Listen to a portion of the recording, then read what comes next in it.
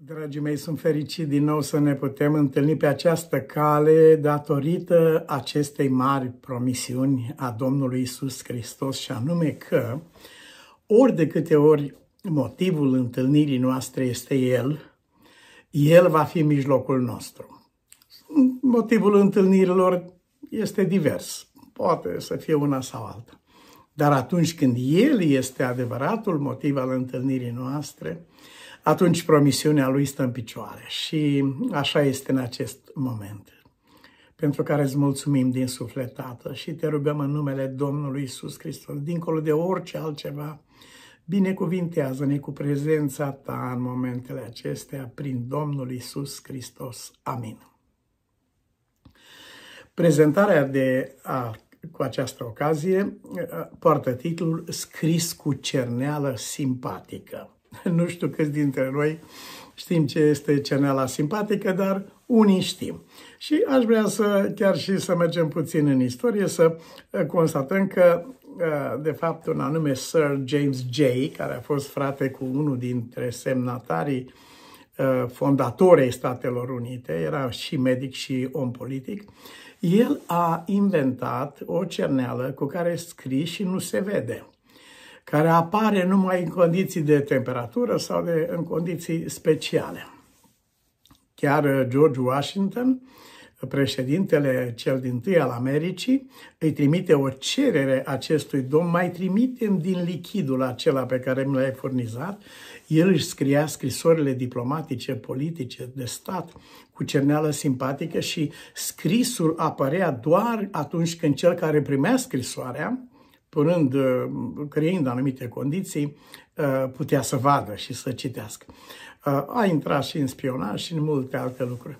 Ideea care vreau să o reținem este că acest, geni, această genială invenție numită cerneală simpatică, ce nu se vede de către oricine, se vede, poate să fie văzută de cineva nu este invizibilă pentru toată, este invizibilă pentru toată lumea, dar este vizibilă pentru cineva. Și atunci mergem împreună într-un loc în care este atât de familiar, Ioan capitolul 8, atunci când femeia aceea este, i s-a întins o cursă de fapt și este adusă în fața lui Isus obiectivul și subiectul nu este adulterul ei, ci este condamnarea lui Isus. Intenția, aceasta era intenția în spatele acestei mascarade creată de oamenii aceștia cu intenția de a-l condamna pe Isus. Din această predare, care ne-a luat foarte mult timp datorită semnificațiilor ei, din această predare vom reține versetul 6, care spune Isus s-a plecat, Ioan 8 cu 6, Isus s-a plecat în jos și scria cu degetul, în traducerea română spune pe pământ, dar uh, ei era un templu, înăuntru un templu, astfel că uh, pe podea ar, ar fi trebuit uh, tradus lucrul acesta și podeaua era de piatră. Și el scria cu degetul pe piatră. Ă, păstrați acest ă, lucru pentru că are mare, mare însemnătate. Ă, cei care erau lângă el îl întrerup și îi spun până la urmă ce facem, adică hotărăște-te, ce zici, zi da sau nu într-o astfel de împrejurare. Și Iisus spune și da și nu. Da pentru cel care nu are niciun păcat, nu pentru cel care are păcat. Adică dăm cu piatra, da, cine? Cine n-are niciun păcat? Uh, cine are un păcat, uh, conform unei uh, expresii pe care o găsim în Dostoevski și prin care ni se spune că um, nu poți să corectezi răul în timp ce ești rău. You cannot correct evil being evil. Nu poți să corectezi răul în timp ce ești rău. Știu că o faci și așa, așa este, dar Mântuitorul a spus nu, dacă ai vreo teamă de Dumnezeu, scoate întâi paiul din ochiul tău ca să poți să scoți bârna din ochiul altuia. Nu poți să faci lucrul acesta în același timp. Nu poți să corectezi răul în timp ce tu însuți ești rău. Rămânem deci la această expresie a lui Isus care scria pe podea, scria pe piatră. Ce semnificație putea să aibă lucrul acesta? Va fi foarte greu să punem noi în lumină, doar deschidem un câmp de gândire. Ei erau uh, considerați interpreții legii. Ei erau oamenii care decideau, judecau, condamnau la moarte și așa mai departe. Când Isus s-a așezat în fața lor și a început să scrie, el le-a transmis următorul mesaj. Vedeți că în fața voastră nu stă interpretul legii, ci stă dătătorul legii. Eu am mai scris odată cu degetul meu pe piatră. Voi știți lucrul acesta. Iar voi trebuie să luați lumină de la cel care a adus lumina. Nu voi sunteți lumina lumii. Scrisul acesta avea menirea să le aducă aminte cine este acela care a scris cu degetul lui pe piatră porunca lui Dumnezeu, chema, făgăduința lui Dumnezeu, legământul, cum se numește, legământul lui Dumnezeu scris pe piatră. El era acela. Și lucrul acesta până în ziua de astăzi creează mari și grave probleme ființei umane. Cu acea ocazie, Isus le vorbește de diferența dintre el și ce era sau cine a fost înainte și uh, eventual după. Și anume, la un moment dat le spune, aici este unul care e mai mare decât templul. El era acela în al cărui nume a fusese ridicat templul. Ați auzit de împărăția sa din Seba, le spune el, a venit la Solomon fără să ceară semne și minuni, cum cereți voi. Doar a auzit de el și a venit la el. Și aici este unul mai mare decât Solomon, care ar fi meritat încrederea dumneavoastră, pe care însă nu i-o acordați. Aici este unul mai mare decât Solomon, mai mare decât templul. Acesta este Mântuitorul. Și cu această ocazie, mesajul pe care îl transmite el este supremația lui Dumnezeu în ce privește adevărul. Legea ta este adevărul, spune David, dar adevărul nu este un, un set de concept, noi avem adevărul, noi știm cu tare sau facem cu tare lucruri. Nu. Adevărul este o persoană. Noi cunoaștem câte ceva, cunoaștem în parte, prorocim în parte. Și dacă ne-am fi îmbrăcat cu smerenie, bisericește vorbind, ne-am fi îmbrăcat cu smerenie, am fi emis mult mai puține pretenții de tipul eu postez de două ori pe săptămână, fac uh, un lucru sau altul, dau zeciuială și nu, nu sunt uh, ca omul ăsta. Uh, dacă ne-am fi îmbrăcat cu smerenie, am fi recunoscut că aici este unul mai mare decât explicațiile noastre, înțelegerea noastră la un moment dat și așa mai departe. El este standardul adevărului.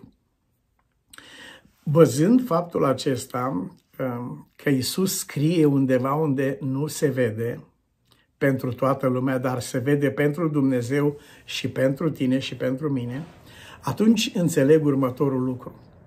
Păcatul, căderea pe care le-am mărturisit lui Dumnezeu nu pot fi citite de nimeni. El a scris cu cerneală simpatică. El a scris cu degetul pe piatră, invizibil de această dată. Prima dată a fost vizibil ce, ce ar trebui să știu că a promis Dumnezeu pentru viața mea. Cu ce mă asigur El pe mine, scris în piatră, definitiv. Adică uh, legământul acesta al ceea ce numim noi cele 10 porunci, ele sunt 10 cuvinte care sunt 10 uh, mari promisiuni ale lui Dumnezeu uh, cu privire la tine și la mine.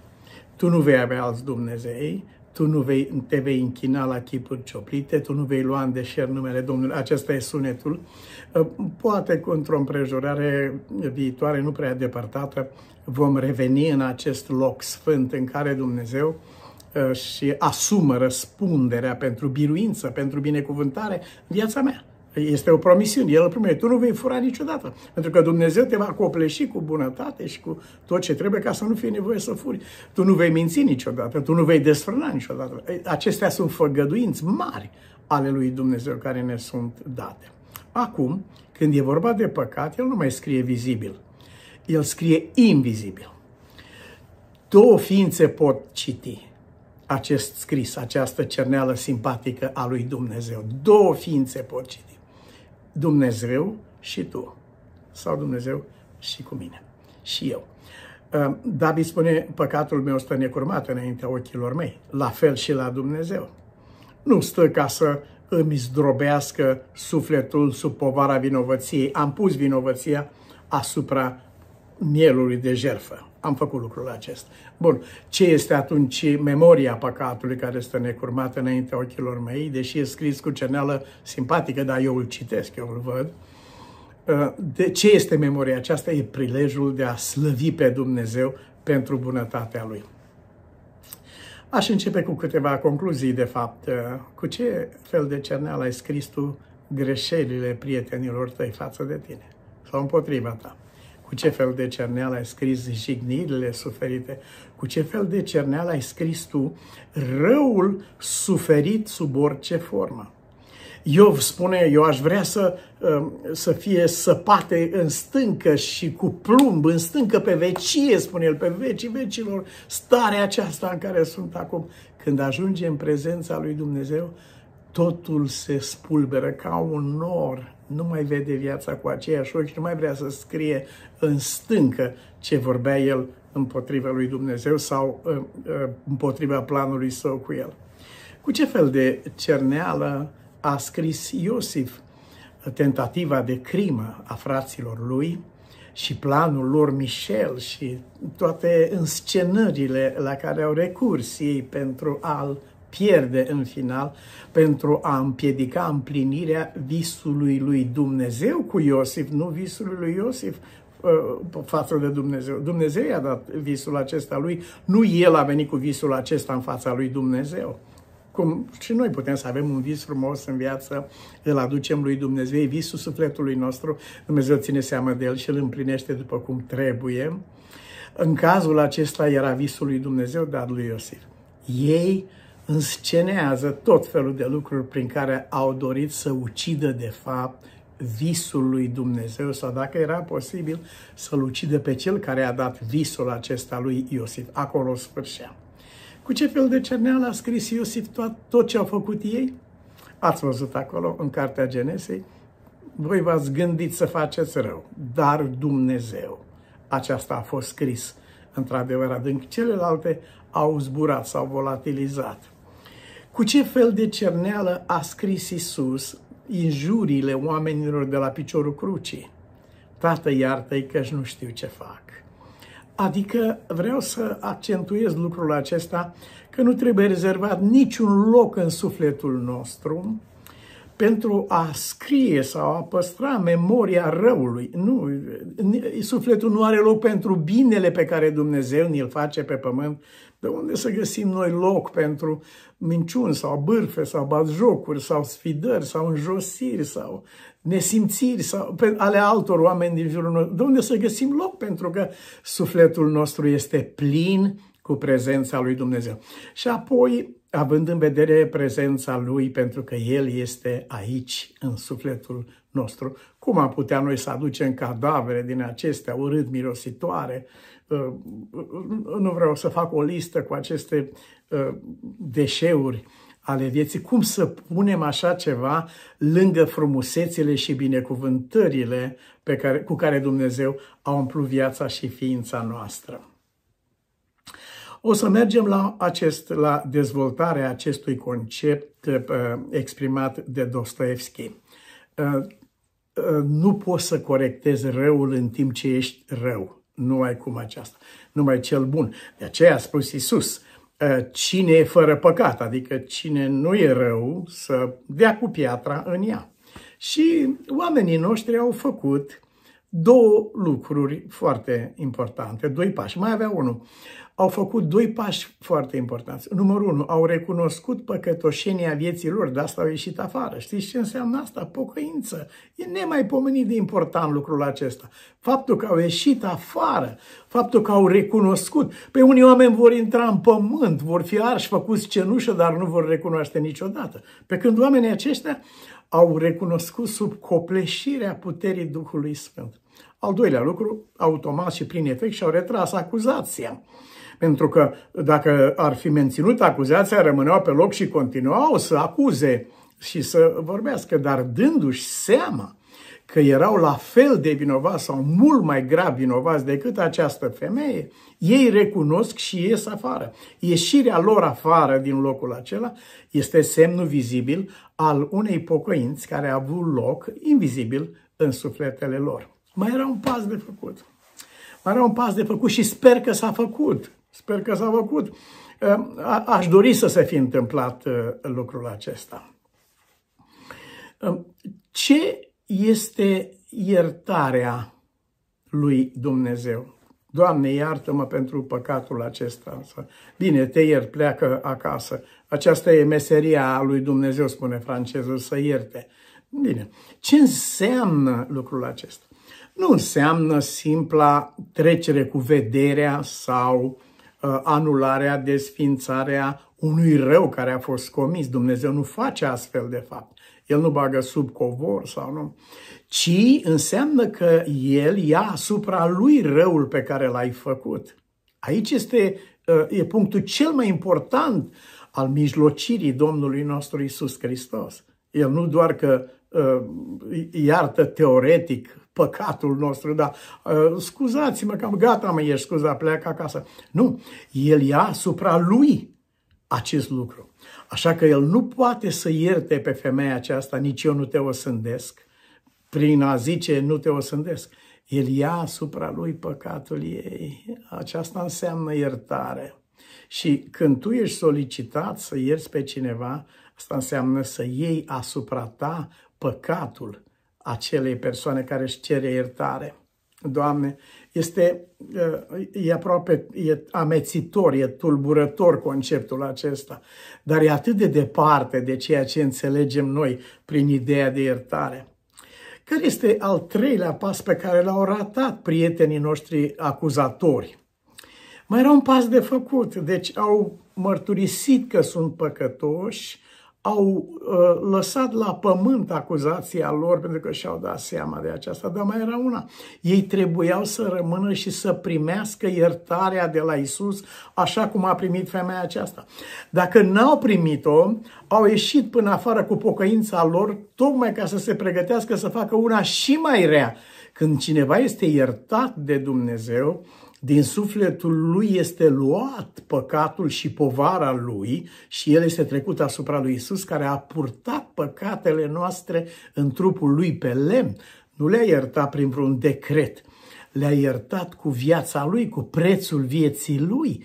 Aici trebuie înțeles lucrul acesta și noi trebuie să prețuim iertarea că n-a fost răscumpărarea cu aur sau cu argint, a fost cu sângele lui. Uh, el a luat asupra vieții lui viața noastră. Și când spunem, Doamne, să fiu iertat, este cazul să nu mai trec prin țara aceea sau prin zona aceea vreodată, știind ce a însemnat iertarea mea, el a luat asupra lui acest lucru. Arun Gandhi, fratele lui Mahatma Gandhi, a constatat că băiatul lui l-a mințit și atunci a mers, nu știu, 40 de kilometri prin ploi, prin nomoale, pe jos, n-a urcat în mașină, pentru că el a spus, zice, eu sunt vinovat pentru păcatul copilului meu. A luat asupra lui păcatul copilului său și a mers pe jos. Fiul lui a declarat, n-am trăit un chin mai mare ca acesta decât să-l văd pe tata mergând pe jos prin ploaie și prin noroi până acasă n-au urcat în mașină. Întrebarea este, noi nu cunoaștem motivul pentru care acești oameni n-au primit iertarea pe care a dat-o Mântuitorul sau poate că au primit-o în sufletul lor. Nu intrăm în acest domeniu.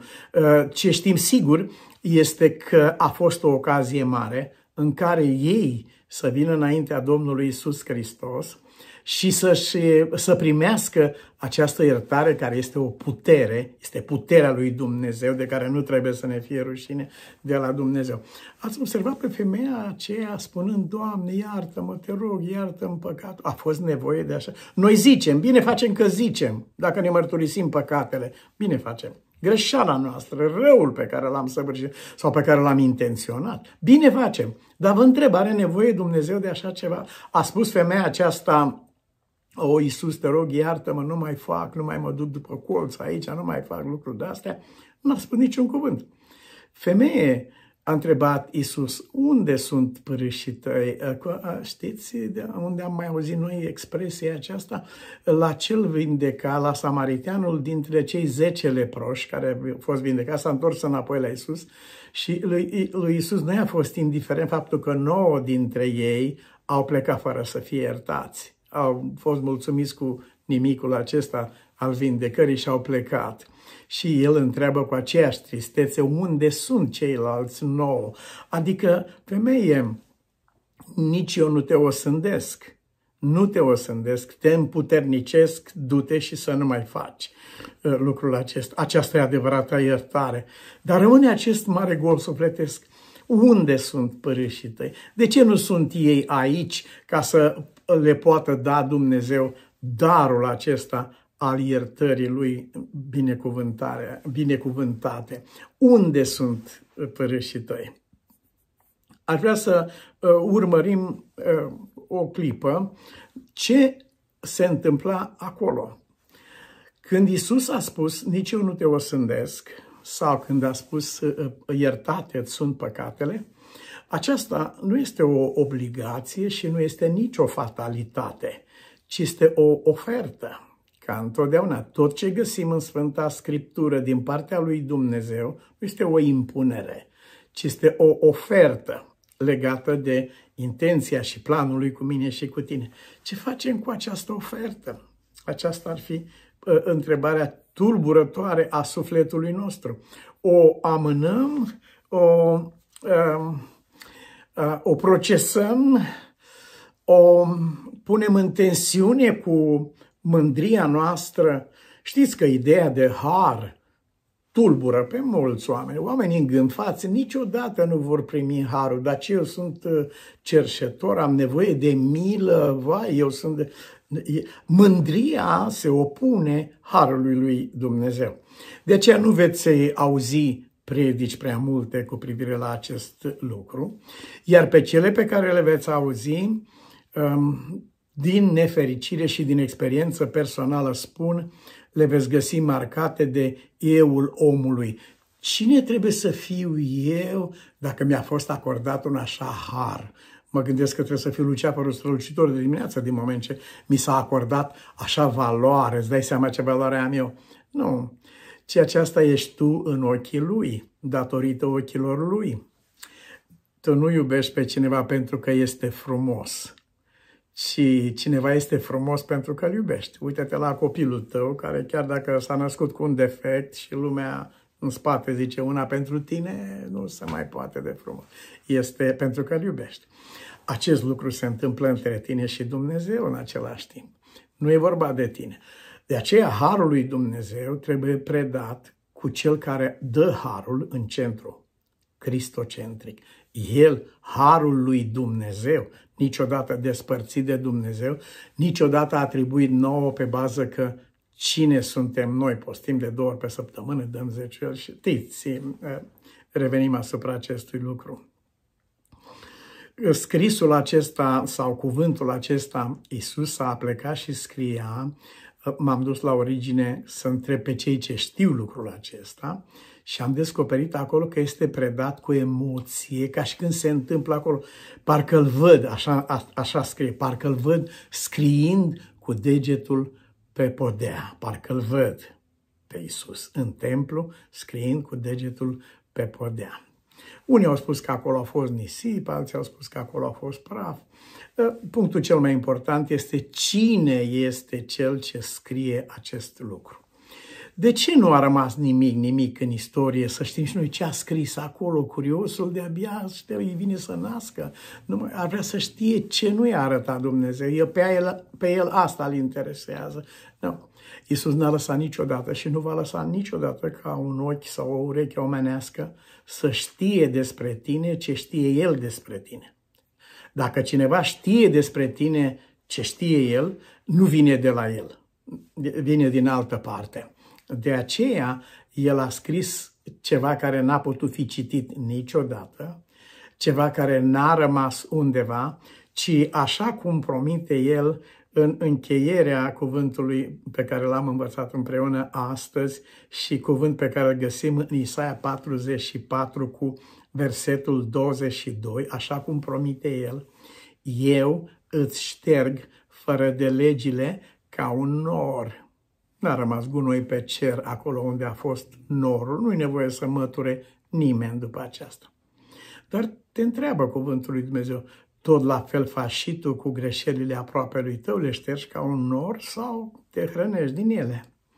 Aceasta este o întrebare care tulbură sufletul omenesc știind unde duce drumul acesta. Cât timp ai să poți să mănânci o travă aceasta, să supraviețuiești mâncând această o travă. Să învățăm de la Dumnezeu, urmați pilda lui Dumnezeu.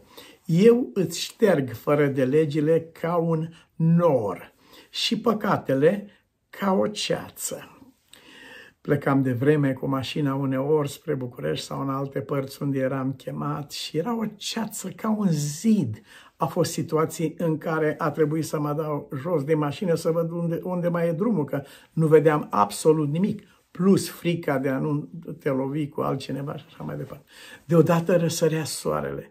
Îndată ce răsărea soarele, imediat se făcea lumină. Unde e ceața, frate? Că acum nu vedeam la un metru și deodată văd până la orizont. A răsărit soarele neprihănirii în viața noastră. Așa că dacă este ceață în sufletul tău și nor și întunecime mare, datorită răului pe care tu crezi că l-ai suferit sau felului cum, ai, cum vezi tu lucrurile acestea, dacă este așa ceva, uite o promisiune înaltă de la Dumnezeu.